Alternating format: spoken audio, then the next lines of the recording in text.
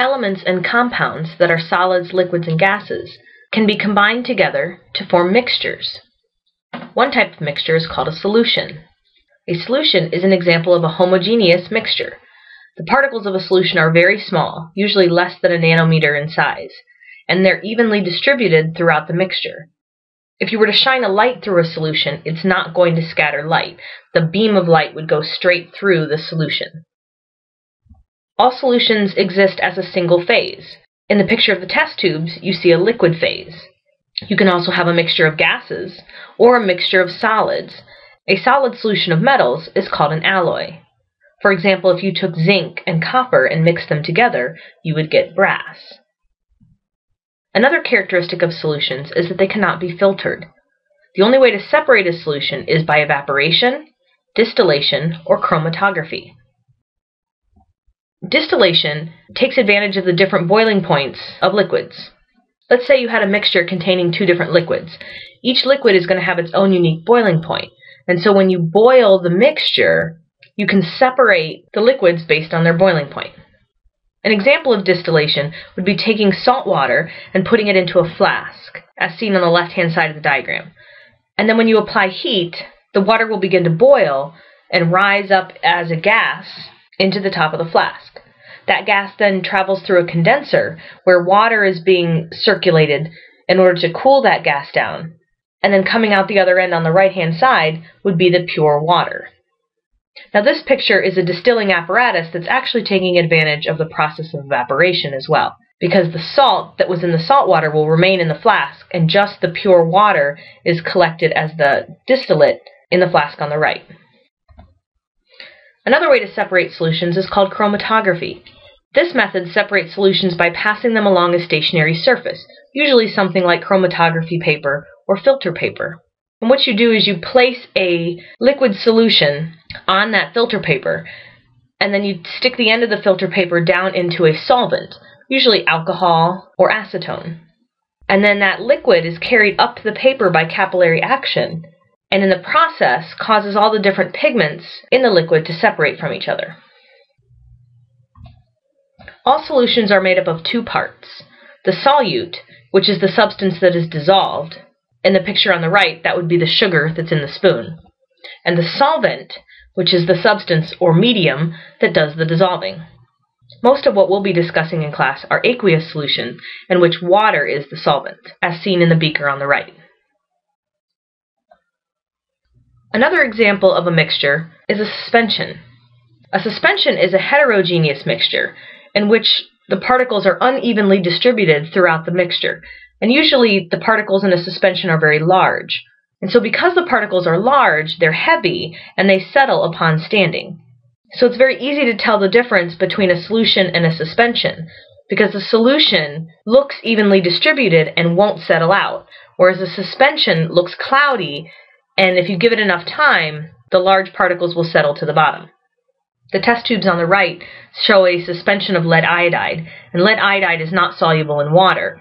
And so when you first form the suspension, you'll see a yellow liquid form, but if you allow it to sit for a long enough time, all of those yellow particles will sink to the bottom.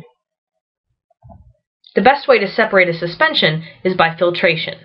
So we could take that test tube and we could pour it into a filter funnel filled with filter paper, and the filter paper will collect the filtered solid or residue, while the clear liquid will continue through the funnel and collect in the flask below.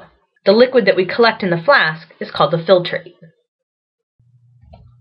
The last type of mixture is called a colloid. A colloid is kind of in between a solution and a suspension. It has medium-sized particles. A colloid is similar to a solution in that the particles are evenly distributed, and they're not heavy enough to settle out. Also, like a solution, colloids cannot be separated by filtering. The best way to tell the difference between a solution and a colloid is whether or not they scatter light. The scattering of light is called the Tyndall effect, and it's characteristic of colloids. In the container on the right-hand side with the red liquid in it, when the beam of light is shined through that liquid, the light reflects off of the particles of the colloid and creates a foggy effect. That scattering of light is called the Tyndall effect. Whereas the solution on the left doesn't show that same foggy quality as the light beam travels through the solution. Solutions will not scatter light, but colloids will. There are many different kinds of colloids. The first type is called a foam. Foams are produced by taking a gas and dispersing it through a liquid, as in whipped cream or shaving cream, or dispersing that air through a solid, like marshmallows or styrofoam. An emulsion is a type of colloid in which a liquid is dispersed throughout another liquid. This occurs in mayonnaise, milk, and butter. Smoke is an example of a colloid in which solid particles are dispersed through a gas, whereas aerosol is a colloid in which a liquid is dispersed throughout a gas. Common items that are aerosols are fog, mist, or hairsprays that come out of an aerosol can. The difference between a gel and a sol colloid is a little trickier.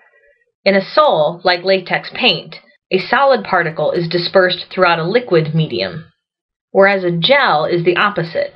In a gel, a liquid is dispersed through a solid medium. Examples of gel would be the jello that you eat or styling products that you use in your hair.